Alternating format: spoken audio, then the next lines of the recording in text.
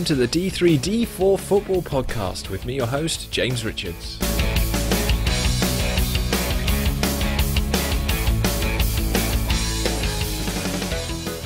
Right, everyone. Hello, back with our traditional Sleigh Bell Christmas podcast. And we're recording this via Zoom this year, so uh, you will be able to see and hear us at the same time if you go to our YouTube channel. Um, welcome. I suppose I should introduce us all because you won't uh, know our ugly mugs very well. Uh, we've got Chris Stringer. Say hello, Chris. Hello, Chris. Why don't I say hello, Chris? yes, okay. Very good. Uh, we have Ed Walker. How you doing, Ed? Good morning. I'm not too bad, apart from the league tables, but you know. And the fact you're not wearing anything festive, I have to say. Well, I'm not in the mood looking at those tables. It, it's, Disgusting behaviour. long season, long season, and uh, Very and of season. course, Monsieur Original. It's uh, Luke Saunders back again. How you doing, mate?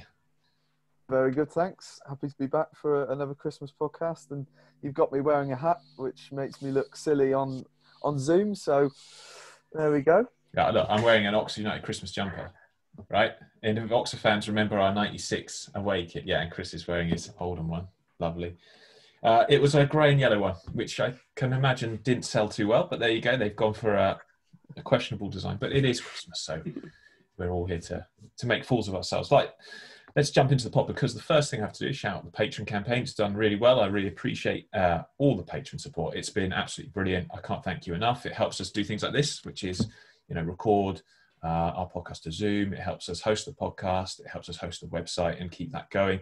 Um, and it's really appreciated. And the latest patrons join is Mark Wagstaff. Um, really uh, appreciate, as I say, you joining the campaign and being part of the team. And any of our patrons, of course, if you want to get in touch with us, if you want to uh, questions to us for the podcast, just uh, drop it on Twitter to us, or you can email us d3d4football at hotmail.com. I would recommend you get them in Saturday evening at the latest, so make sure I pick them up before the podcast, which we record on Sundays. Guys, uh, a busy schedule yesterday. Um, before we get into it, let's just ask how your festive period's going so far. So, Chris, how you doing? You doing all right up in you're in, up in Leeds, I think, aren't you still? Yeah, yeah, up in Leeds. Um, finished now for a couple of weeks, so I'm uh, looking forward to a bit of time off. Time off. You're a student, isn't it? Like you always on time off? yeah, it's not how PhD works, James. Yeah, your PhD. Yeah, you're a bit a bit further along than uh, than the average student, I think, at the moment. Ed, how's your festive period been? It's not too bad. Um, taking away from the football, I think I'm doing all right at the moment. It's all, you know, the news yesterday for all people wasn't particularly great hearing what Boris had to say, but no, festive period. It's quite nice. It's nice to be around the family at this time, certainly. Absolutely. Yeah, yeah. Tier, we're in tier four here now. I assume tier ten means you're not allowed to get out of bed or something. I don't know. I don't know I how think high that stage. I I think it's you're not allowed to look out the window. I think it's the official official guide. Tier ten is that Tier the, ten, yeah. That's the next one. All right. We should play a game. What tier are you in? Yeah, I think Santa, Santa's going to have real problems delivering presents this year, actually, with social really distancing and stuff. I was thinking, what, Really is. fishing You've got to put hand sanitizer out. Well, he's, he's, I've heard he's converted his sleigh from a bottle of Dettol. It's kind of a clever, Mm. yeah. And he's going to fishing rod it down the chimney. But he's obviously, don't panic anyone, he's cleaned the rod before he does it and after each one. He, and he uses those hand, hand So you have to quarantine for two weeks after every country he goes to. So it could be quite a long period now. That's a point, actually. How's he got round? I assume he's got some sort of multifaceted passport system because otherwise, you know, he he would be slow every every Yeah. Christmas. Mm. Interesting stuff. In fact, let's for- forget football. This is quite interesting. We could get into some quite interesting subjects here. Luke, how you been, mate? 'Cause we haven't had you back on for a long time. How's how's it going with you? Yeah, very good, thanks. Um, yeah, I've been looking to get back, so excited to excited to be back on. But yeah, I think we've we've stayed in tier two, so you know at Cheltenham there's lots going on with with fans coming back. We've had a couple of games with supporters back already, so um, and and we're preparing for Boxing Day now as well. So you know we're, we're one of the lucky ones in that sense, I suppose, that we can we can welcome our supporters back and have been able to already. But yeah, that's that's quite tough jumping from tier two to four. I mean, it's hard enough going to tier three, but then bang, new new tier system, and you uh, leapfrog Yeah. two. Mm. Yeah, it's, it's strange. I mean, yeah, I won't go into the politics. Let's keep politics off this pod. But it is, it's not been the best handled uh, situation, I don't think. Try being a northerner. yeah, no. Uh, no, I don't. Uh, I don't think I can handle. I don't think I can handle being. I won't. I can't understand a word any of you lot say. I have to. I have to put. I have to put this podcast through Google Translate to make sure you haven't said anything libelous each week, Chris. That's a bit. That's a bit harsh. Bit harsh. Sorry, did he? What did he just say, Luke? I didn't. I think he's. He's from. Where are you from? Staffordshire way, uh, Ed. Staffordshire way, yeah. Yeah, yeah. Sorry, but you have to translate. I can't understand. It's not my headphones. The- Any- Anyway, let's jump with, uh, straight into League One. And uh, top for Christmas, Portsmouth, thanks to a very generous performance by Hull City, giving them uh, two own goals. I would say neither particularly bad in the own goal book, um, but still deserved all the same. Portsmouth have I think improved immeasurably under Kenny Jackett in the sense of the sort of dodgy start they had this season where there was a lot of pressure on him. They're starting to play good football. Uh, Marquis, like we've already said on this pod, is being used properly. Harness is in great form, Ed. Um, you know, you're you're a big fan of him, and I'm sure slightly jealous that they've they've taken him south, and, and he's now playing in the team Just a top bit. of the league. Yeah, Just a bit. but do we do we think like Portsmouth top of the league? And they are a big club, and there is this sense, I think, of they have to get out of this division at some point, and that's why there's more pressure on someone like Kenny Jackett to to win every week, you know, than say there is going to be another team in this in this league. But he is doing a good job, isn't he? And I think the pressure.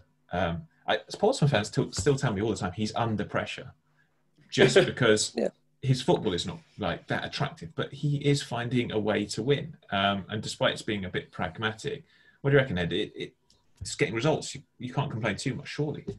It's getting results, but I think the main problem with Portsmouth is that he can't get them over the line. You think about the last couple of seasons; they've always been up towards the top of the table, but he's fallen away twice in the playoffs. They lost to Mm. Sunderland, they lost to Oxford. Portsmouth want to be in the championship. They should be in the championship. They've got a great squad, one that could be competing in there. The fact Jackett isn't getting them over the line is, I think, the reason why Portsmouth fans still have the doubts about him. Yeah. But you can't complain about the position they're in the minute. I absolutely love having Tom Naylor in midfield, talking about another expert and player in there as well. Naylor and Harness have been fantastic in there. He's really making good use of Marquis. Ronan Curtis continues to be a threat down on the left hand side. Those fullbacks are Pring and um, Callum Johnson. Great pair to have. I just still, it's a lovely side from front to back, and they're deservedly top of the table at the minute. But you're just not entirely sure if they're going to stay there because this isn't this is a division this year where there isn't one standout side. You'd have to say really. I think we looked at Hull a few weeks ago and thought maybe they were, but they've kind of fallen away recently and come back into the pack. I'd, I'd agree. Yeah, there isn't one standout. And the same in League Two as well, actually. There's no standout team um, that you think are going to run away with it. I mean, we haven't got a situation where, you know, I think in that season where Shrewsbury Town were really unlucky not to go up, we had Blackburn and Wigan, and they were a cut above the other teams. And I think Shrewsbury did immensely well to stay with them. I don't see someone running away with League One this season Yeah, at all. I No, can't see anyone that. doing it. They've gone four unbeaten now, Portsmouth in the in the league as well. So it's put them in a great position.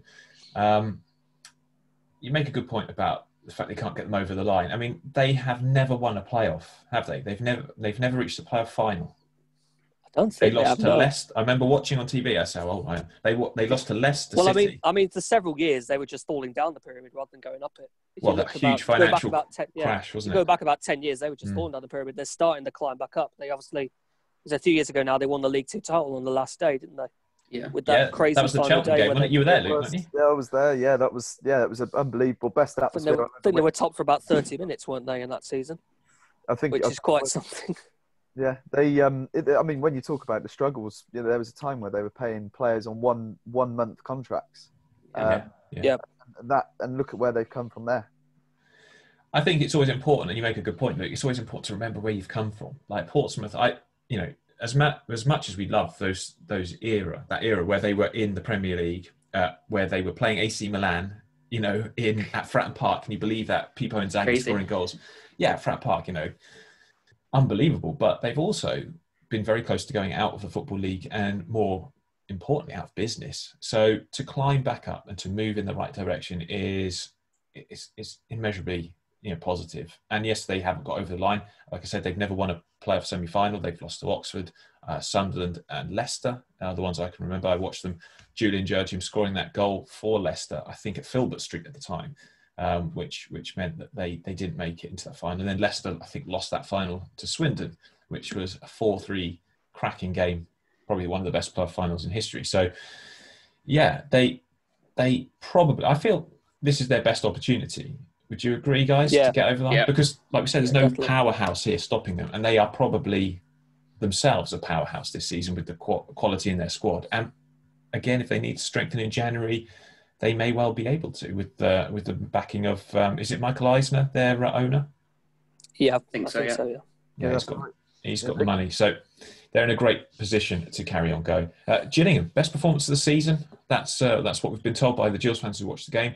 Obviously, only seen the highlights, but they did look impressive um, against. A, let's be fair, a depleted Rochdale team. They're missing a few key players in this one, uh, and Rochdale are not the side, are they? That you know, when they've got the first team eleven out, they're actually pretty formidable. You can see them uh, bossing up against a few teams that keep possession well. But as soon as you scrape away that uh, first 11 and you start looking for depth, it's just not there. And, and it's not a surprise. They're a small team in a pandemic trying to survive financially. But Gillingham were just far too strong for them yesterday, Chris. And 4 1, Akinde, I mean, he gets, uh, he, you know, he gets mocked quite a lot on Twitter, Akinde, uh, but for being ineffective. I mean, I find it laughable when professional footballers who are playing in the professional pyramid are mocked by fans for not being effective. I mean, clearly he is effective or he wouldn't be playing in League One. And yesterday he proved far too hot to handle for a Rochdale defence. Uh, yeah, had an absolutely fantastic performance yesterday. A um, couple of other good players in there as well, Robertson and uh, Ogil- Ogilvie. Um, really impressive. But as you say, it was a, a depleted Rochdale side. Um, uh, and it is something we've talked about a bit with them already this season. They're, they're down towards the bottom end, and it is that depth that they're really lacking, um, which, you know, especially in the context of them, as you say, struggling in a pandemic, being at one of the smaller clubs and still being in tier three um, it's difficult to see that turning around anytime soon as well. Yeah, I, I, I think if Rochdale, like I've said, I said this to there's some Rochdale fans we interact with regularly on social media, and I've said to them, if you stay up this season, job done. That's all you need Yeah. to do. You know, because there's there's some good teams. Burton with a squad that you'd argue is not a bottom four squad. Uh, you've got Swindon, who we know if they could defend, were, are actually quite a decent side going forward. You know, and, and Shrewsbury under um, their new manager have slowly already started to turn it around, or I should say, rapidly turn it around. Really, he hasn't been there long, and they've already improved immeasurably. So it it's going to be a real challenge to stay up. There's four relegation places again this season. If you get sucked into it, I mean, Oxford. Who, we could- whose we could- idea was that? Giving that Thor relegation places, I hate it. Who, whose idea? That's the one thing I hate about this league. Whose idea is it to give them four places? Well, I think Whose when I was, idea was? Oxford were in League Two, we loved the, the Oh. fact that it was four. Oh. I know you, places. you love it when you're top of League Two. Then you go into League One, you realise, oh wow, there's actually a lot of spaces here to compete in Thor. It's horrible. Yeah, I I don't know why. Actually, does anyone? I don't know, listeners. Anyone know why League Two has always had that extra promotion spot? Is it to do And then with, only two, and then only two go down from that league as well, which is just is, is it to do with merging of regional leagues at some point? It could possibly be. It could Mm. possibly be, or maybe it's about the number of teams that need to move in each division. They've they've only had, until recently had one going down, so now they've got two going down and four going up. So six six changes in the division, same as League One. Maybe I don't know, but it's it's it's a it's squeaky bum time from about this time of the season on for anyone who's stuck down the bottom of the table. And It's a Yeah. hard, hard league. yeah, it's pretty close as well, though. To be fair, like you look at Burton, I'd say Wigan as well. They're the two at the moment you'd be most worried about because everyone, obviously, because they're twenty third and twenty fourth, but actually because they're slightly adrift. You know, a a win for Burton would would not see them climb, clamber out of that bottom uh, four. Whereas if Shrewsbury get a win or, or Swindon get a win, they'll be on twenty points and they could jump, you know, up to sort of fifteenth in the table. So that's that's the worry. But Ed, your team losing yesterday. Um, what do you make of the game? Because of course you, you're playing a pretty tough opposition in Doncaster, who are who are absolutely flying. No, um, I only managed to watch the highlights back on this, but Doncaster are brilliant. I think we've got to give them a lot of credit, and we've got to take them as seriously as we're taking teams like Portsmouth, Lincoln, and Hull. You say They that look- in my look- notes here. I have got Doncaster for automatic promotion question mark. Yeah, it's definitely contention. I think Ben Whiteman is one of the division's best midfielders. He could easily be playing in the division above. They're very lucky to have him. Reece James has looked really good on the left wing at the minute, which, considering he's a left back, is testament to them. Fejiri Okenabirhie, we've already said, lethal finisher, so good. Anderson, fantastic as well. Halliday, Cameron John look really good at left back. Joe Lumley's a very reliable goalkeeper. love John Taylor as well. I've been really liking Madger Gomes when he plays. They're just a, a very nice side from front to back, and it's actually the first time they've beaten Burton in a game, but it was deserved yesterday. Like they're playing against what is the worst team in the division at the moment, so it was probably always a given from the start. And well done to them. And yeah, I think they're fully in the mix to be right up there at the top with at least playoffs and potentially even going to the top two the way the division is at the moment. Yeah, I, agree, I completely agree. And, and, and like we said before, with the, the point about Portsmouth is if, if there is no powerhouse team, if there is no one running away with this division, what an opportunity this could be for a side like Doncaster, who are, I guess, one of the archetypal well-run teams at at this level of football. They don't seem to struggle. They obviously have got their their new ground and moved to AF. Do you remember? Anyone remember? Is it Belle Vue, their old ground? Bit before my time, I think that was, but yeah. Too young for us, James. Oh, dear. Anyway, yeah, it was it was uh, a tired ground, and I think it actually ended up blowing up um, due to a gas leak or something after. Jesus. Yeah, it, luckily it was after it was shut as a as a you know a public football stadium, but it was uh, it, it, it's it's a transition. I mean, it's a huge transition they've made since those days, Doncaster, to being a club that now you could argue have the infrastructure and quality to be in the championship. Yeah. Darren Moore, does he get enough credit, Luke? I mean, what what a job he's done there. He has, yeah, and it's, it's been a couple of seasons now as well, and there have been some changes in the personnel around the club too. And although you've got your stalwarts like your your Coppingers, etc., the, the the way they've kind of recruited too has been very very impressive. And he, he, I think he has gone under the radar because he came from West Brom, didn't he? Um, He was sacked when West Brom were fourth, was- wasn't it? When they were in the championship. Exactly, and and I think you know since then he's kind of built the club up to, to you know to be pretty strong. I know they didn't quite get where they wanted to last year, but it was the previous year they were they were flying quite high, weren't they?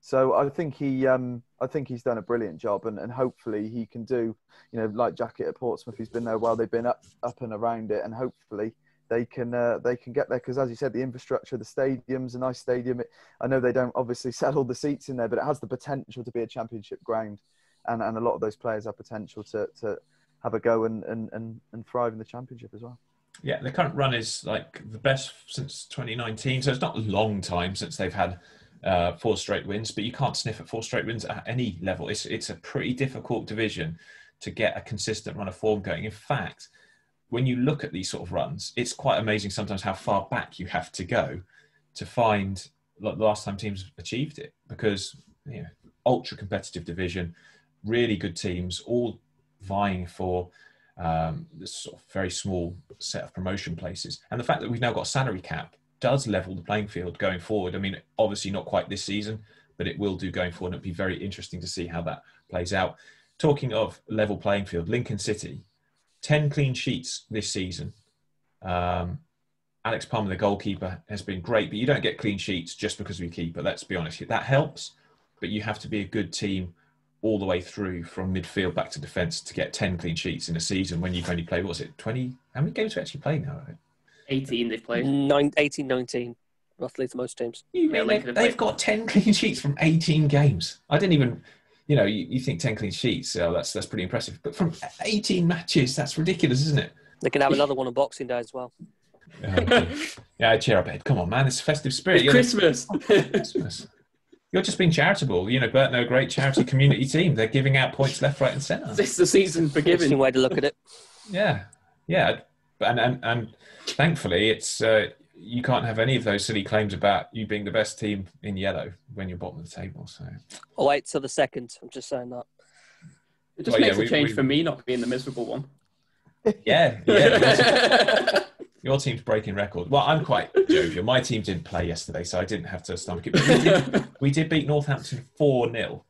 Um, you know, and uh, Lincoln Go and matched that, which is a bit annoying because I thought we'd, you know, stealing our thunder a little bit there, Imps fans. But uh, it does suggest that, not not being too harsh on, on Northampton, because Oxford played well in that second half, and Lincoln are a very, very good team. You don't sit at the top sort of echelons of League One without being a good team. But yeah, like massive credit to them because Michael Appleton, I think Danny Cowley said it very well on the on the highlights how the club back their managers at Lincoln.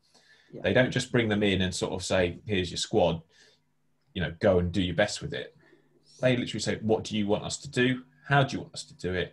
And and they've implemented that, and that's why Lincoln have been so successful in such really quite short space of time. Because I know Appleton struggled in that transitional period, uh, but that's not to be unexpected. He did that at Oxford as well.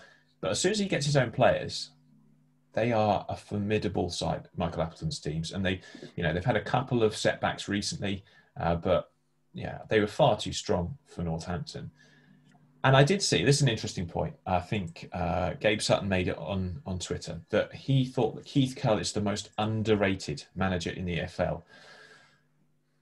What do we think, guys? Do we? Do we Well, the think that- Northampton fans weren't very keen on that statement. Let's put it that way. I, I think They didn't he's look very keen on that. I think he's a, a just a average manager. I think he's he's fine in the bottom half of League One, top half of League Two. I think that's his level. I definitely would say he's the most that. under. He, he- So- he's in league in League Two. He, he he always seems to do pretty well, but then again, he's been at two, I'd say, pretty big clubs in in League Two lately. Um, so you kind of there is an expectation to get promoted, but in League One and and the style as well. Um, the style, yes. What style? I agree. Yeah, I, I, I think uh, in League Two with good backing, he has got a team over the line just. One thing you have to say though is that he can motivate a team because the way he got them to knock uh, Cheltenham out of the playoffs and then beat Exeter, you know, unbelievable. That's that's down to him as a man manager and a motivator. But you know, moving beyond that, I I don't see him as being the most underrated manager at all. In fact, you know, there are probably a dozen candidates that I I probably put ahead of him. He is though struggling this season. Let's be honest. And and Northampton have traditionally in the last few campaigns in this division struggled to to make the grade, haven't they? Because you know when uh, I think it was Justin Edinburgh took them up. Did he get sacked after four games? Wasn't it? In It was a while ago, wasn't it? I think it might be similar to that. Yeah. Yeah, he got sacked after four games. Then he had Dean Austin come in. I'm sure. No, how, who was it? Hasselbaink came in as well. Hasselbaink did come in. Yeah, that didn't work out, Yeah. which I, re- I really thought that was going to, to be honest. But I forgot about that. that didn't happen. Isn't it crazy? It's crazy how quickly, you know, because they, they had Chris Wilder, obviously, who left Oxford to Northampton and then got them up. Um, but it hasn't really been plain sailing since then. And they don't look like a side that are going to. I mean, the good thing is, under Keith Curle football, they generally beat the teams at the bottom. Yeah, they're capable of battering you. They are capable of doing that too. If you're not prepared for a physical battle, you'll get beaten. Yeah, no, And they've shown that so far yeah. with some of their wins. They they have, but they have shown as well in some Yeah. of their defeats how they just Yeah. collapse. They can just collapse, Yeah. and uh, it wasn't a it wasn't a good performance yesterday. Uh, one thing that I would say about yesterday's results is that not to overlook Plymouth's clean sheet no. after their run. Definitely. yeah. They've, Um, they've, they've been shocking in defence this season. They've been they've been they've been terrible. I mean, the last few games, I was having a look at the goals conceded. Um, obviously, they they lost five in a row, so you, you're always going to concede goals in a run like that. Uh, but they conceded three at Bristol Rovers, four at home to Rochdale, and five away to to uh, Fleetwood. And even in their results before that, they drew two with Portsmouth, conceded two against Swindon. So they, you know, they haven't kept a clean sheet. Since, in fact, have they? How many have they kept this season? So the last one was oh, sorry, uh, Ed. Yeah, one their was last against- league one. Last one is in the 10th of October against Burton. Do you see why? do you see why I'm miserable? Do you see why I'm in this state? Merry Yes. Christmas, everybody. Yeah, indeed. So yeah, okay. Apart from so Burton is like a guaranteed clean sheet. Okay, Cheers. you, you scored yesterday, didn't you? Was, th- was it three one final score? It was a penalty from Lucas Akins, which is a given because he's greated them. That's, It was a hell the of only a way we can penalty, to be the minute. Fair. He always takes them that good. He's been doing it for years. It's the only reliable penalty taker we've got. So got 11 Lucas Akins on the pitch. yeah, 11 Lucas Akins, we'd be winning this league, but unfortunately, there's only one of them. So Well, that's this. Po- we'll name that's it. We'll name this podcast the team of Lucas Akins. yeah, please. that would be decent. But yeah, so Plymouth a big win for Ryan Lowe. He's been linked, as we know, to Bradford. Yeah. Uh, very interesting that obviously Bradford are saying that's not true. They're quick to dispel that. There is sometimes an expression though that I think deserves a little bit of credence, which is "no smoke without fire." I have a feeling that he would be seen as the ideal candidate by Bradford, obviously with his record, but also he, he's he's from that region. He's from up north. Uh, up north, it's all up north, isn't it, Luke? The north, there. that one, that one area. Yeah. Yeah, that's it. Only yeah. Yorkshire's now the same as a Wirral. Okay, we'll cover that. That's it. Yeah, yeah. It's. uh, I thought. I thought Bradford was next door to Sunderland, wasn't it? I don't know. I have to look at my map. But in seriousness, no. I mean, is this something? Is this something you see happening? Oh, I don't know. Can you can you imagine it happening though? Just for It'd a moment, Yeah. leaving Plymouth to join relegation. I just think it, uh, I couldn't. I couldn't imagine the reaction from the Plymouth fan base if they saw that. Would I- not be good at all. No, I Would can't see it not be good happening. at all. Oh, No. no. piss boil. Twitter meltdown. They'd probably break Twitter, actually, wouldn't they? I would, I would imagine.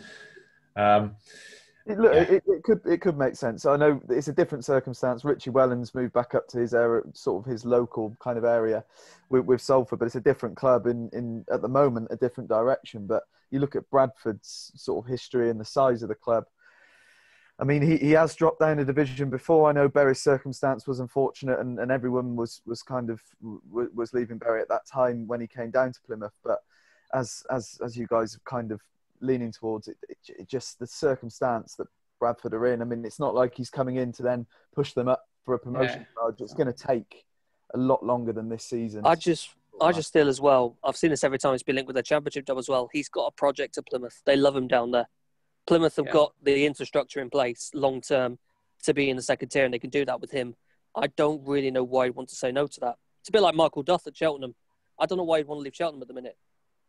Why would you want to leave a project at the minute that's looking really good to go somewhere that potentially could not work out? like Graham Coughlan. Yeah, exactly. Yeah. Yeah.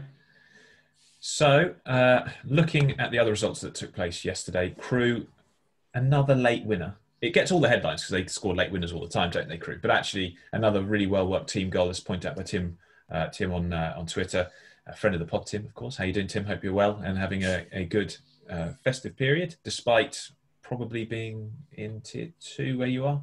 I think Liverpool is tier two. Is that right, Yeah. Chris? Liverpool? It is tier two because I keep seeing my friends in pubs and restaurants, and I keep wanting to cry. Don't, worry. don't, knowing knowing don't. the way these tier systems work, they'll be in tier four tomorrow. So probably, uh, but they did. They've done really well, Crewe. Uh, um, Shady zebras. Uh, they're like from a noir film, aren't they? You know, they they keep going. Uh, I I don't want to big them up too much because I'm not. You know, I'm, I'm a bit sort of like the jinx for most teams when I start saying that they're going to do well. But you can't deny they've had a very good run of results. Um, they're playing well. They've got 31 points, so they're only four points off top. This is how tight this division is. And they're ninth, and they're ninth in the table, four points on top, That's wonderful. It's or absolutely six points even. Sorry. Sorry, yeah, got- six points off top. So I'm looking at the wrong, wrong, wrong thing here. But that is a testament to what this division is this season, and that is a testament to how easily a team just needs to go on a run, and they can they can fly up the league table. It's, it'll be absolutely brilliant. I mean, Fleetwood they drew one one with Wigan yesterday. Great result for Wigan. Big disappointment for Fleetwood considering like again they're in and amongst that pack. Um, you know the weather conditions were, were appalling, so it, it wasn't conducive for great football. But again, It's you know, Fleetwood. What do you expect? it's yeah, it's always Let's be honest. Let's be honest. It's always bad up there. it's pretty bad up there, isn't it? And then the goal music as well. You know I actually love that. Well, I was thinking for, for your Christmas gift from D3D4, Ed, Oh, I was Oh going no, send, please no. I was going to send you on an, on an all expenses paid away trip to uh, to Highbury. Um, and I'll go to I love Highbury. yeah, you like it, don't you? Uh, uh, Ed's uh, opinion is more akin to mine in terms of it's a great stadium. The amazing thing I'll- is, I'll go- been I'll go. podcast. I will happily go if Paddy Madden's not playing because he always scores. If it's not Paddy Madden, I'll be fine. It's a great chippy as well. That's, that's the Cross chance. I haven't been on this podcast in months, and, and somehow I seem to recall the last two times Fleetwood's goal music, as, as which I think says a lot about how it. It's uh, a regular topic. It's a we're regular, scarred by it. We're scarred by it. It's, uh, regular topic. it's, it's it leaves it leaves. Trust me, it leaves takes a lot of getting over when you've heard it regularly when your Yeah, team just has ask played Pl- there. Just ask Plymouth fans. That's all I'll say. Yeah. What team did they play in the cup game? Who were like, "What is this music?" Oh, it was was on the TV. It was on the It was TV. Hull. It was a Friday night game, League One. Hull fans. Oh, it was Hull fans. They, yeah, First time they played them, they weren't used to that. We did warn them. yeah. There you go. It's uh, it, it is it's very um, synonymous with the club now. So yeah, you can't you can't deny it. You can't deny it. it works well for them. And uh, if it strikes terror into the opposition and the fans, hey, there you go. Yeah, to be fair. keep doing it. Uh, Accrington and Blackpool played out a nil-nil draw. Accrington by far the better team in this one. Um, but again, Blackpool didn't get beat. They'll be impressed with uh, going because Accrington's a tough place to go. Let's not let's not pretend this is a team that I don't think get enough credit for, for what they're doing. I mean, doing fantastically well. Um, and I'm still scarred by a trip to Accrington a good six, seven years ago in the Cup. They were a league below us at the time. God, remember those times. Um, and we lost 1 0 to them in the FA Cup, I think it was, or Johnstone's Paint Trophy, or something like that. And it's just that open terrace at the back. It's just a horrible place to go. what was the weather bad as well? Oh, yeah, it's Accrington. It's always bad weather. And they are five points off top. That's ridiculous. With three games in hand. That oh, that's ridiculous. I just look at that table. I think, what? They've got th- yeah, they have got three games in hand. That's ridiculous. Can you imagine Accrington being top of of this division? You know, I love it. I love it. it's crazy. Why we, love, why we love these leagues.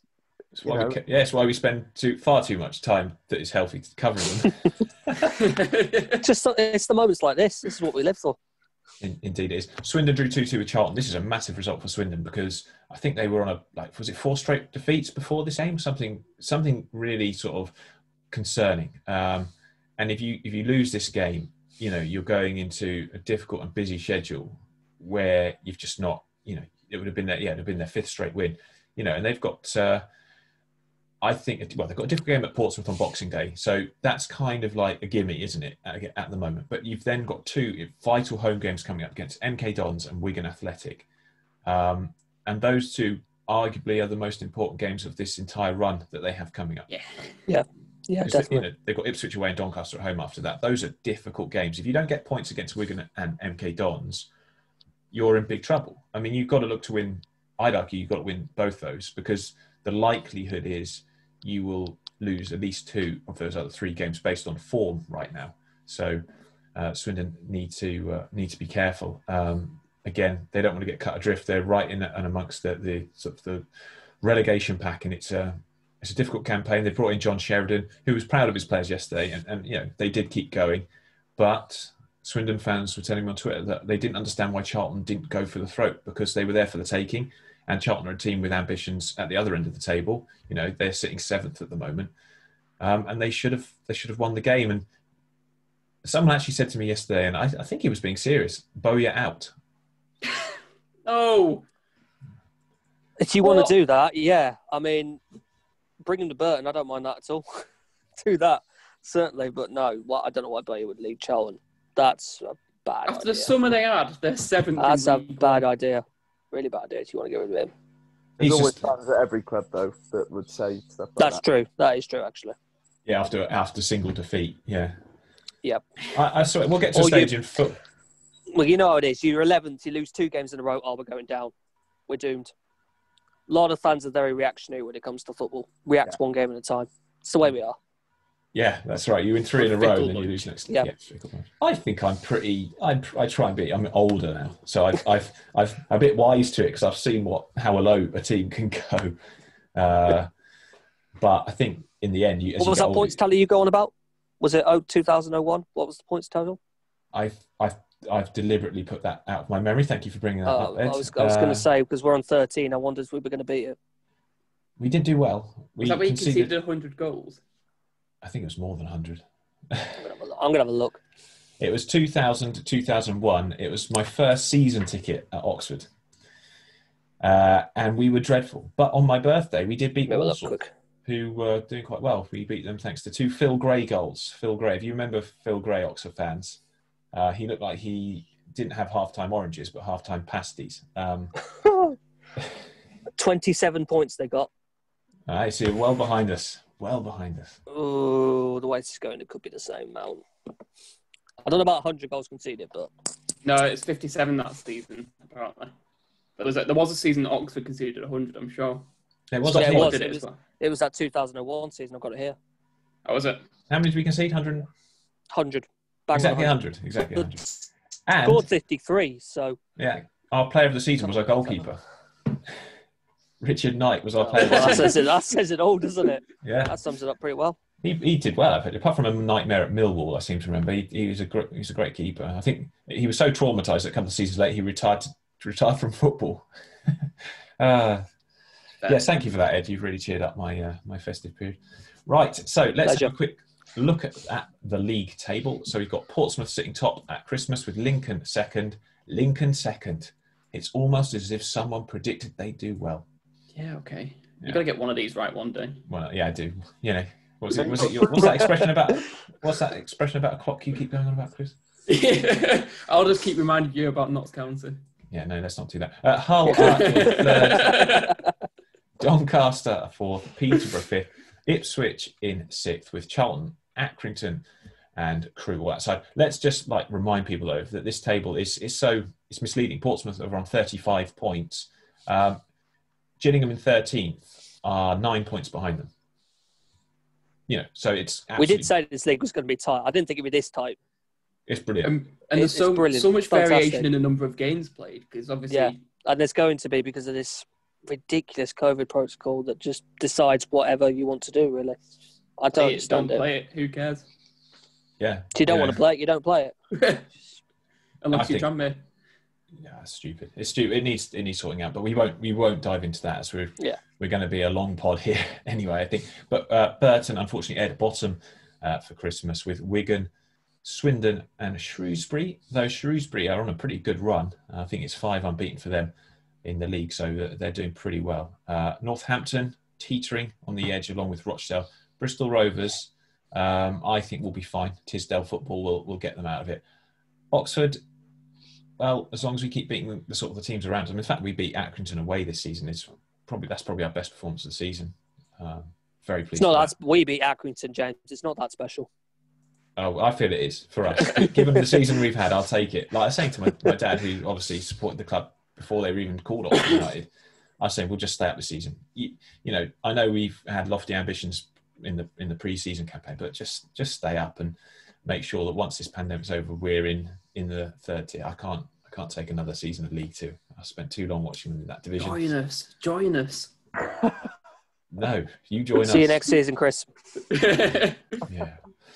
Right, so let's jump down then into League Two. Sorry to do this to you, Luke, but the best result in League Two was Barrow. 3 0 against Cheltenham. What happened? I think it was a rare off day, and and when you look back at the sort of going back through the results, I think Cheltenham haven't lost um, back-to-back league games since February 2019. We it was April 2019. We lost four 0 at, at Morecambe, um, and that was the last time they lost a league game that heavily. So, which shows you how, how much of a good job that, that Michael Duff and the, and the team have done. But yeah, an off day yesterday, and I think you know full credit to, to Barrow. Quigley and James were outstanding up front. Um, they were brilliant. They, they dropped deep as well to win the ball back. They they were absolutely unbelievable. They had their fans in. The pitch wasn't the best, but it's no excuse in terms of in, in terms of the result. Um, and and and as Ed said, you know, before the podcast, they played with the shackles were off a little bit. I think um, Kelly's done brilliantly. They played with freedom, and um, and I think on that performance, I cannot see them struggling. I know it's only there. I think it's their third league win of the season now, isn't it? But I can't see them struggling um, after that. Ed, you had some insight into this, didn't you? What was the, what was it? The expected points should have been a lot a lot higher than they've got. Yeah, I remember reading this table about expected points, and I think it said a couple of games ago Barrow were meant to have 10 more points than they actually did. Mm. Whereas Colchester, for instance, were actually 10 points better off than expected. So they have underperformed a bit under David Dunn. I wasn't too surprised that they got rid of him, to be honest, because you had to look at their current form and the position they were in. They did look in danger of slipping into that bottom two. I do understand the reason to let him go, and I hope that Barrow can make a good appointment. I think Dino Maamria has been linked, and I think he'd be a great choice for them, certainly. Yeah, So- yeah. I wrote I wrote a piece about that on the website if you want to have a look. Um, there's several reasons why a character like like Dino would, would be good at a club like Barrow, um, but especially when you consider the turnaround. But at the moment, maybe they're uh, they're caretaker. I mean, we see it a lot. Yeah. Caretakers have good spells, then You they do get see it. yeah they get just- although Mark Bonner, I think, is a good example of a caretaker that's worked out really well. Mm. He's doing fantastic doing- Cambridge this season. They yeah they are. So big credit to Barrow uh, Lincoln. Obviously, any any fans saying Duff out yet, uh, Luke? Oh no, well, yeah, Below Forest Green, not good enough. that's well, it's a rarity. Given literally spent uh, many many years above them, so uh, there's a long way to go. Long way to go this season. the vegan army. Still, still right up there. Still right up there. Um, but yeah, no, fair play to Barrow. Great credit to them. uh, a fantastic result, and uh, I think, like Ed says, the ten point uh, it passes the eye test. If you've watched Barrow this season, they actually are a good team. You know, they're not a team that you'd expect to struggle at this level. There's, I think there's still some of that fluidity from under Evatt that they had in the National League. You can see it with people like I think Quigley was sensational that National League season, wasn't he? And he really showed his worth yesterday. Particularly they missed him, didn't they, at the start of the James. season? Yeah, but Dior Angus is a good striker as well. He's a good option in behind. Good use of his pace, certainly. Yeah, they've had a few injuries. I think that's that's not helped. To be honest, they've got quite a small squad, and a bit like we were we were saying about Rochdale. You know, once you, you lose a bit of your depth, it, it'll have to use a bit of your depth players. It it can it can cause problems for a, for a club like Barrow. But uh, massive result yesterday. Fair play to them. Um, this is a serious this is a serious table I've looked at here. Morecambe are fifth. Morecambe are fifth in this division. I That mean, is real, yeah. I That is just, the I'm real shocked. table. I They were can't believe 200 to 1 pre season. 200 to 1 for the title. Bookmakers, bookmakers know nothing. Let's What honest. they know nothing. They really do know nothing. You know, I have to say, some of the odds you see regarding clubs are embarrassing at the start of the season. It's like reading some, some of the national papers' uh, predictions on League One and Two, where you look at it and think, "What is that?" who finished well last season? We'll just go with that again. Just put some other ones in. Oh, they're a big club. They'll be at the the top of the Premier table. League, that the odds has changed, haven't they? Since Leicester won the Premier League at five thousand to one, I think it was. Everything across the the leagues, they've just calmed down. Twenty to one. That's all Yeah. we'll give you. It's just Yeah, apart from Morecambe, and they're being made to eat their words for that one, aren't they? yeah. And I think I think the argument I've seen from a lot of people, um, a lot of Colchester fans were saying yesterday that Morecambe thoroughly deserved it. But if they had a more prolific frontman, and not having a go at any of their strikers, because Cole Stockton has done an excellent job this season. His hold-up play is good. He possibly should have had more goals for sure, because he's had some very good chances gone gone uh, amiss. But if they did have a, a, a sort of a targeted goal scorer, someone who would put the ball in, then they, they, they could be I automatic. I don't know, actually. I feel like Stock, Stockton's a warrior. You know, he's an outlet for them, isn't he? And when you've got the midfielders they've got, people like Wildy, Kenyon, Phillips, the goals they've got, Mendes Gomes, a goal scorer as well. John O'Sullivan, what a fantastic volley that was yesterday. If you've got goals from midfield and then a guy who can just be the sort of focal point and lay off others, like Stockton does, I don't think it's a problem. he got a goal yesterday, Stockton. It was an own goal, but I think I think the point that some of the Morecambe fans are making is that you know if they had someone who was who was scoring as freely as someone like a Paul Mullin, for example, you know they would they Well, would I've always wondered if Leitch-Smith could be that. I know he's had persistent injury problems, which the has really held him it? back. But I think Leitch-Smith is a very good player at this level and could be if he got a consistent run of games. Do you see him getting that run though? He's he's like you say No, injuries have really He, he can't. He can't keep fit. That's the problem. no, So and that's why he's, that's that's why he's at Morecambe. I think no offense to Morecambe, but he came there a couple of seasons ago after impressing. Uh, or he was he was like a really uh, high highly rated prospect in Scotland, wasn't he, for a while? and he was, it was, it was it Crewe? Yeah, he came I for think it was a Crewe for a bit. Yeah. Yeah. And I know, I know he went up to Scotland, and everyone was talking about him being, you know, a really promising player, but he just can't. Yeah. He can't stay fit. One, one. I mean, like you say, Phillips has done well. That Cooney's done well when he's had to come into the team. Um, they have just performed admirably. Songo'o has been an excellent signing, giving them a bit more grit. Yep. Um, you know, we haven't seen them have capitulate like they, they did against teams like Crawley and, uh, and and Cambridge. You haven't seen that recently. Uh, they've been a lot more solid. And like you say, Ed, I agree with you. Goals from midfield, you know, all over the pitch. That's It's, going to be valu- vital. it's valuable to have goals from more than one player. and That's what Morecambe have got. You And can't. Roddy, greatest should player in the team. Yeah. Well, most improved, I'd say certainly. He's Yeah. been sensational since Adams Adams has come in. He's been fantastic. He's been brilliant. Been Yeah, absolutely he's been brilliant. he's been a really brilliant player. Um, right, They're adaptable as well, haven't they? Sorry, I know you probably want to move on, but just just saying, there's a couple of games this season when, uh, certainly at Cheltenham on opening day, and I think at Tranmere as well, they changed their shape yeah, and got Yeah. wins. So that squad can can adapt to different systems, and a lot of teams kind of have one way of playing and they stick to that. But I Yeah. think Morecambe have the players that can sort of switch it up. They can go to a back five. Yeah, put Mendes Gomes up top rather than out on the wing or a bit more central. yeah. Yeah, they've had. Jordan Slew playing as a striker a lot this season, but he can play. Yeah, on the he has been up there. Yeah. Yeah, He, played, he, he came through as a striker. That's we had him uh, on loan from Blackburn Yeah. a while back, and he, but he was a striker at the time. He sort of played, gone a bit more on, on the wing now to use his pace. I think He was a Well- FIFA beast for years. he was. He had 90, 94 pace. I think it was. Derek, Derek Adams has done a great job in his recruitment. Obviously, Yes. getting versatile players who can play multiple systems in a in a in a league and then in a season where games are coming so quickly um, where you have to be adaptable. And yeah, he's done a great job. Uh, let's move on to Grimsby because they won the derby yesterday.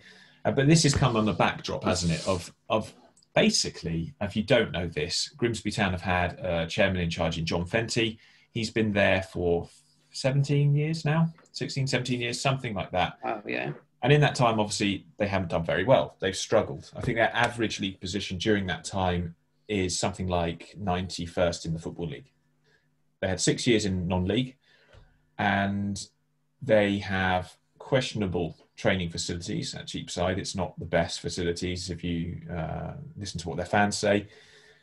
And then we had this for all last week where a convicted fraudster, a man who has been convicted and sentenced to six years in prison for defrauding, mostly, according to the stories, pensioners out of up to three point something million pounds worth. He basically took their identities, remortgaged their houses repeatedly, and pocketed three over three million and tried to get another three million.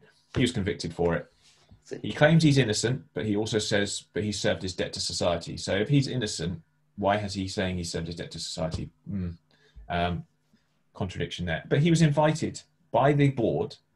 Uh, we assume John Fenty, who had started a company with this guy at Companies House, to come and watch football and invest and, and potentially buy a million pounds worth of shares. And Ed's head in his hands here because the only reason that this hasn't happened is because they were found out. People were like, "We know who that man is sitting in the stand with you. He's this chap who's been convicted of fraud." Uh, it, and and then the fans were like, "No, we don't want anything to do with this guy. We don't want him investing in our club." Obviously, uh, he would fail the owners and directors test because of his criminal conviction, so he wouldn't be allowed to be a director. But he could have potentially been a shareholder and invested the million, which the club said in a statement they were going to use to uh, buy or build a new training facility. But the club's statement was a worry to me because it wasn't apologetic. And it said in that statement, it is our duty as the board to consider any application for investment in this team. No, it's No, not. no, your duty as the board is to look after the long term interests of this club, the integrity of this club. This is a community asset, this club in Grimsby. You know, that's what it is. It's not your duty to say, here's a man who's been convicted of fraud, let's listen to what he has to say and take his money. It's just shut up. And the only thing they said was, oh, the reason we haven't done this, given everything that's happened, uh, we've decided to reject his offer. You mean you were found out and it caused public outcry? That's why you've rejected his offer. I mean, jeez. Uh, Ian Holloway comes out um, and he, he condemns this whole thing. Uh, he condemns the current owners. He condemns the uh, you got is it Tim Schutz who's trying to purchase the club or invest at least in it, um, and it's getting all political. So you know, fair play to Ian Holloway, but it's not conducive to a, a club that's going to a attract new players who want to go there and play, and b give a good, uh, good feel good factor around a team that have been struggling. Who wants to take this first? I think you've summed it up. It's it's just Yeah, don't, don't go near a fraudster. It's like it's the first rule of football it, investment. it just baffles the mind, doesn't it? That we've had all this. You see all these terrible owners that have been the hotel already, and Grimsby were generally considering bringing in someone with a proven record of fraud. They were talking to him like they were actually. I talking just don't him. get it. I, I don't get it. I really Anyway. don't understand it. Avoid. Shows you maybe the desperation that clubs find themselves in at the moment, and, and perhaps oh, I they, can't. I can't believe he was the only person interested. He's not I though. can't There believe are that. they're I can't genuine. believe that. Yeah, there are Who's that, who's that guy from Bolton? is he is he knocking around? this this this guy um he's changed his name now um and i can't remember is it someone may? Alex may i think he's going by the name of this fraudster. Um he tried to get involved at notts county i believe. He tried to get involved at other clubs and was just no they just no. And i think grimsby should have been like i mean they apparently he came to five or six matches. That's how many games. When fans can't go and watch matches he's been allowed to watch five or six games with them because of his potential investment. And you know they shouldn't even be considering this. Um, you know they've rejected it but it, you should have just said no. As soon as you found out about its history said no. I mean terrible. But i don't want to dwell on it too much because we've got oldham to get to uh, who have now won seven away uh, seven straight away victories. That's an equal club record. You've beaten newport away and they have not lost at home all season. You've now got 19 points on the road in is it nine away matches now Yep. yep. and last season, you only managed 16 away points in 19 away matches. I mean, Chris, what's happened? Turn around. I- I'll just note that we did actually lose at home during the week as well. Yeah, So yeah. we're continuing a fantastic ability. I think we've won two at home all season. Um, but Not not been great. we, we You just can't become a travelling team.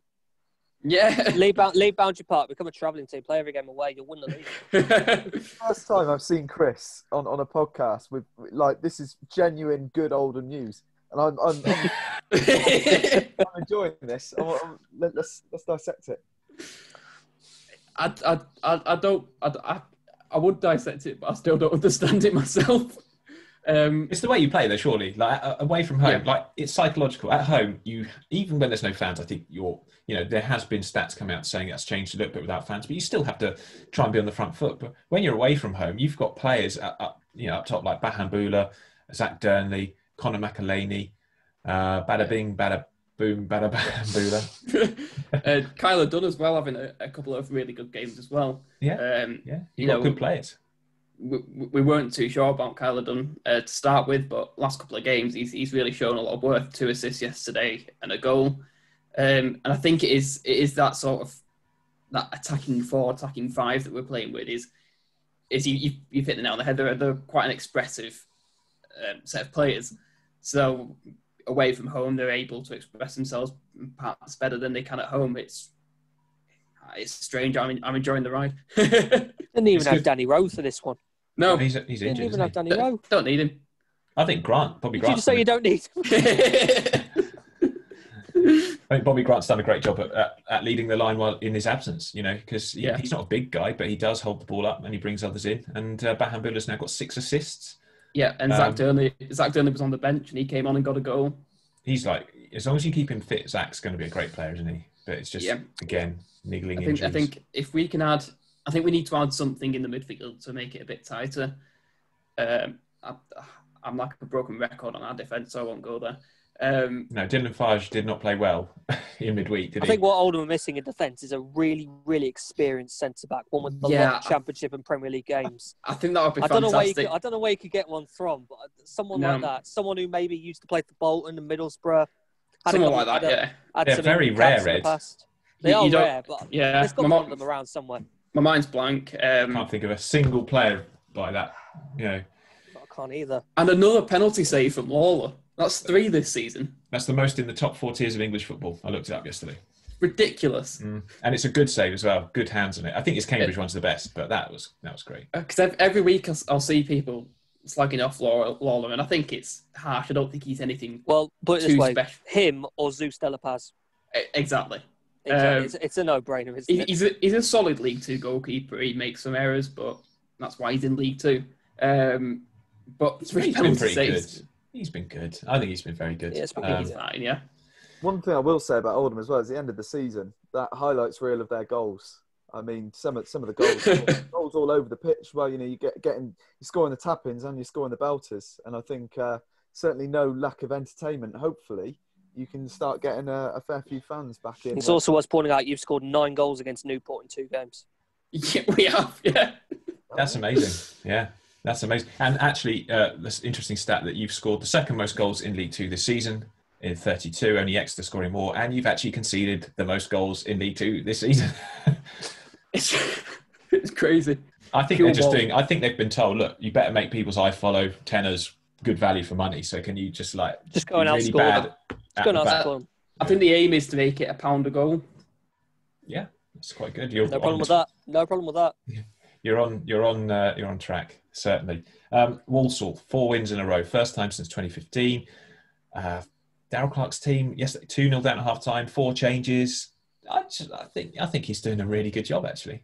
Um, again, another manager who, you know, arguably gets stronger as the seasons go along. He's got great pedigree. You can't. You can't argue with the fact that he's uh, he's done well at this level before. Um, and Walsall are up to eighth. I mean, we had them. I I had them sort of, uh, yeah, I had them skirting with automatics actually in my predictions, if I remember rightly. But they've struggled a little bit. But the run they're on now leaves them seven points off the top. They are just outside the playoffs, I think a point outside the playoffs or something, or goal difference actually is against uh, with Exeter uh, and and Salford just in there on the on the same number of points. So I don't know. What do you reckon, Ed? This is a a Sadler's side that uh, clearly are in good form, even though they were. Uh, I'd say a little bit generous defensively, but it, it wasn't that bad a first half performance.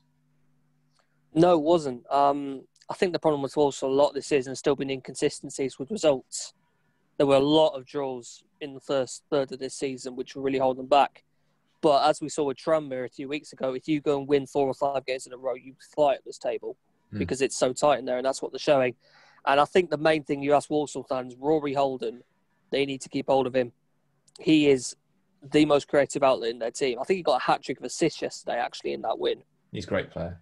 He's fantastic, plays on the right, or probably better in the number 10 role, you'd say. And they put Josh Gordon out on the right instead, which is really good to have him back in the team. And I've been loving Elijah Adebayo because I think he got quite a bit of criticism for his finishing last year.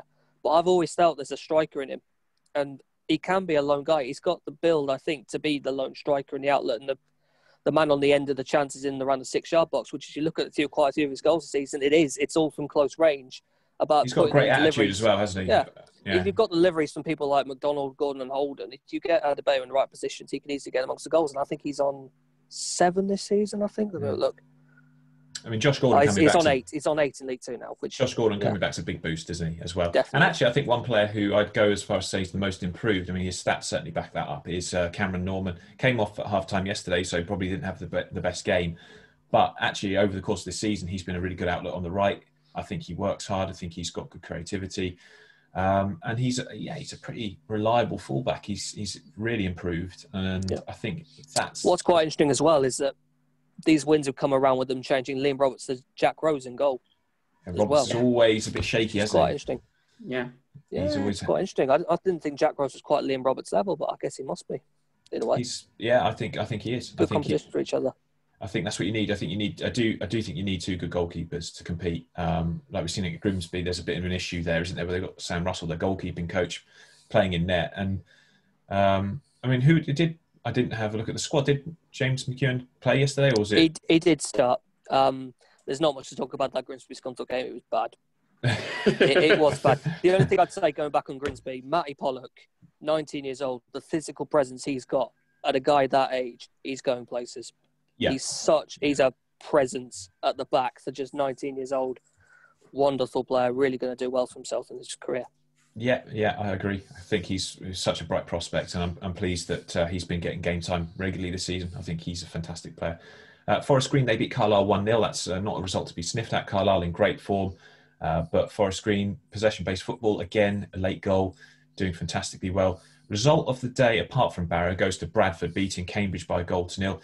Yeah. Simply because they needed that win. Um, I'm not necessarily going to say they was the, they were the best performers or anything like that. I haven't seen the, the full game, only seen the highlights. Lovely goal by Pritchard as well, but a massive win for the Bantams considering uh, the position there. And we've already discussed the Ryan Lowe links. I expect it won't be Ryan Lowe, um, as we've already said, but they will get someone in, I think, who can who can turn this squad around. I think they've got enough in their team, like Barrow do, to not be worried about relegation. They just have to start being more consistent and finding a way to be more creative and, and get more chances going forward. They rely too heavily on on players who perhaps not at the right end of their careers in terms of age. And uh, I think there's there's going to be needing a few, a few changes. I wonder if there's any money in January to do it, but we'll have to wait and see. Uh, Harrogate lost to Salford 1 0. Salford, a team to keep an eye on. They've got the, I think they're the only team in the EFL now unbeaten at home this season. Is that right?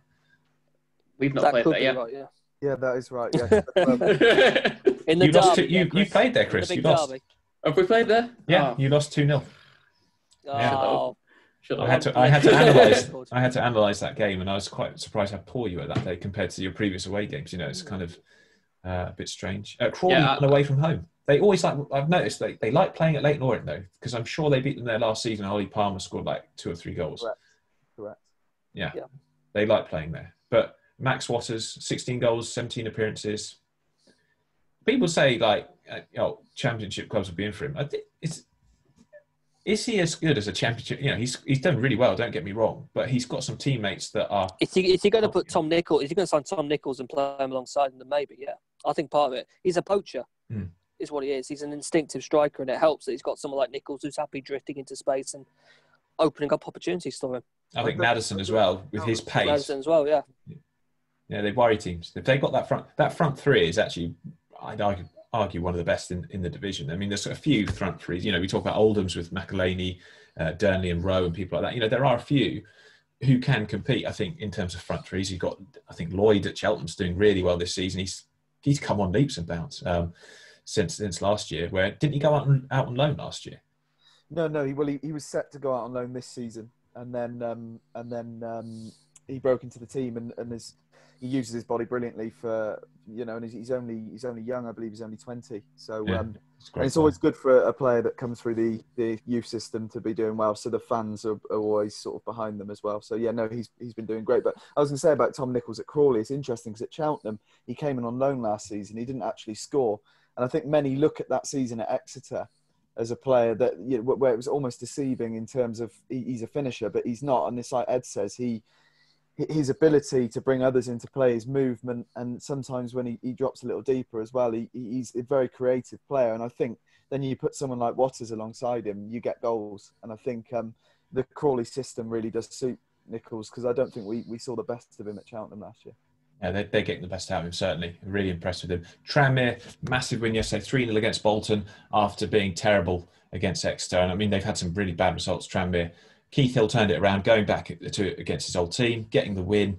Um, you know, I wouldn't say. the league still though. That's the ridiculous thing. Out of the last eight games, no team's picked up more points. Yet they lost five 0 last week.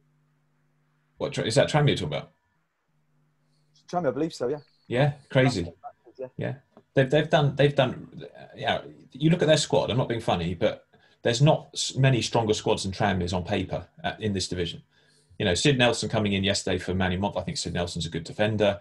Um, they played Feeney as a, as I think as a sort of a number 10 rather than Yep. out wide, and he did really well. Uh, Young came into midfield and, and was, was, according to Tranmere fans on Twitter, he was superb. So, you know, they have got a very strong squad. They've got people like Kaiyne Woolery, who's not not starting, I don't think. You've got Morgan Ferrier. Stefan Payne's out injured for a while, but he could come back in. I think James Vaughan coming back is huge. I think he offers them so much. Uh, he really occupies defenders. He scores goals.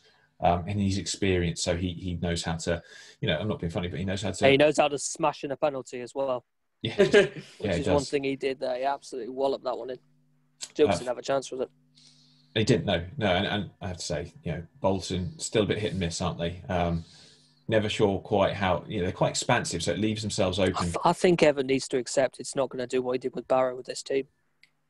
It takes time. I, I don't Yeah. think it, I'm just not sure this system's right for these players. I saw them on Tuesday night. I've never known a team play as wide as they did. I mean, it was effectively Yeah. Cheltenham, but my word, like, talk about expansive. Yeah, they unbelievable. Like the Isgrove and I forget who the, the other lad was on the left. They- They're literally on the, the touchline. Greenwich, wasn't it? It was Greenwich who, who played, wasn't it? Yeah, Greenwich. Greenwich, yeah. Huge, Greenwich, yeah. Absolutely huge as well. They're, they're a team of giants. They had Harry Brockbank. Uh, Brockbank No, you back. can't call them team of giants because he called Walsall that. He never made a comment about Walsall calling them London the Giants. Can't. No chance. No, Bolton biggest team I've seen in a long time. Yeah, no, they're, uh, uh, but again, like that, that expansive play, like you say, Luke. If a team like Tranmere just condense a bit, it causes them problems by the look of it because you know this is how they got thrashed in, in recent games as well. Bolton have had a, a couple of big, wasn't it against uh, Port Vale? They were absolutely taken apart. Yeah. Um, Leyton Orient took them apart as well, didn't they? A few a couple of months ago, four Yeah. Yeah, so they they they they're a team that it can it can really backfire. Last team got to talk about Southend. I watched them yesterday. Um, first half they were superb. Can't fault them at all. Superb yesterday. I'm telling you this now, right? Hot take: If Mark Molesley keeps them up, ma- manager of the season. Yeah, Yeah, fair enough. Agreed. Agreed. Luke's not allowed to say yes because uh, he's employed. Uh, if I, I, I just think that the fact that they start the season without a squad, essentially, um, they've had an embargo which has only just been lifted. So players that they did manage to bring in weren't allowed to play anyway, uh, and they've got all those other other problems. The fact that, that he's got them playing a good brand of football, a lot of youngsters still in that team, but now you're seeing a spine now. You're seeing a spine coming. I mean, they've got Dieng and Hobson are their centre backs because Harry Lennon's knee's gone again. Uh, so he's out for a, a long time, and, and that's a big problem. But those two looked okay at centre back yesterday. You've got Pomono at right back. Uh, Ralph is out for the season, so their left back was Clifford, and he got injured. So Sam Hart had to come in and play left back, who, you know, he's a left winger really, but he did well, I thought, to contain uh, Mansfield. I think you know Charsley and, and Maris looked particularly threatening, but uh, Mansfield looked a lot better once Cook came on and had that physical presence to occupy those centre backs. They're much better then. Um, Dimitri was out, but McCormack did a good job with Taylor at sort of that holding role while you got Ole Inca being a bit more free to run, and he scored a lovely goal. Uh, blatant penalty, I'm sure we all agree. Absolutely. Terrible decision. Um, I don't. Yeah, we don't. In all honesty, we don't slate referees too much, but that was a bad decision. And Brett Huxtable um, is not particularly well liked, I don't think, among fans at this level as a referee. You, can, you Uh, can't say things like that, James. No, outrageous. Yeah, no. Uh, but it's a frustration. I think the frustration for fans is that you know when you're in Southend's position, every decision like that, and it, it was quite pretty clear one. It's not like one of those that you've seen given and haven't. It was a penalty. They could that could cost them, you know, and uh, you do not want to see that team get relegated. But I, like I said, if they stay up, and they could, you know, they could add a couple of players. I still feel Emile Acquah works hard up front, but he's quite inexperienced, and I thought he was a handful yesterday. Um, but maybe adding one more experienced striker in that team and an Well, they experienced have centre got good back. ships still to return, haven't they? I've not been that impressed with him though. I'll be honest this season. Y- You know, I Their think best player when when I watched Cheltenham win there, but again they were really poor that day. But he he, he was their best player that day. I just I, I just don't think he, as we've seen in the games this season, has enough to to be reliable to to score their goals. I think you need someone with experience and know-how, and you need a centre back with experience and know-how. That's the two positions that I think they should prioritise in in in January. Um, but it'd be great to see them stay up because, yeah, you know, it's not right what's happened to them, and I think it's uh, it's really unfortunate. But we'll see, guys. Brilliant Christmas pod. I hope you all have a wonderful Christmas, whatever you are doing. I know it's going to be very different this year. We're having one at home.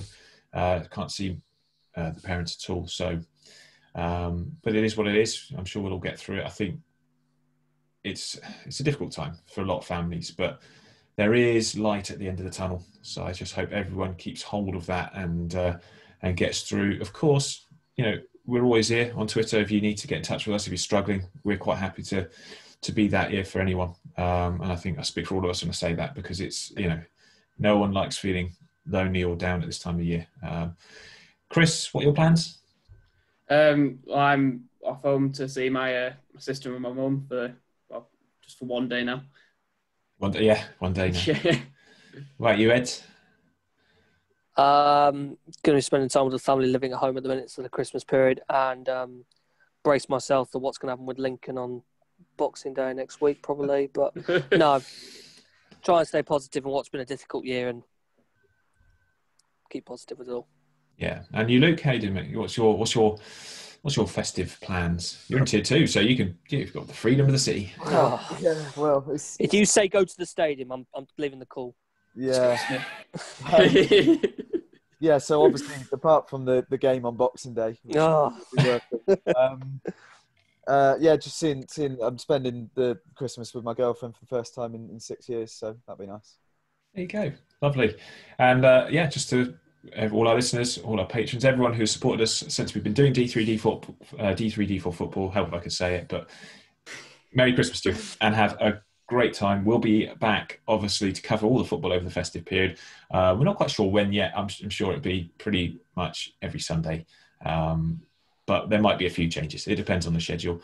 Uh, but I'd like to thank all my co-hosts for not just this episode, but just always being there. Me and Luke started this up. Luke, uh, yeah, I miss you, man. You know, you should be back on more regularly. We've got to get you back. Uh, Chris, you've been fantastic since uh, since coming on, and Ed as well. Uh, your you tweeted out about your being here for one year. It's been a wonderful year to have you on. Um, your knowledge and insight has been brilliant for this podcast. So, and it's not possible without you guys. So I really do appreciate everything you do for D3D4 football. I'm sure our listeners do as well.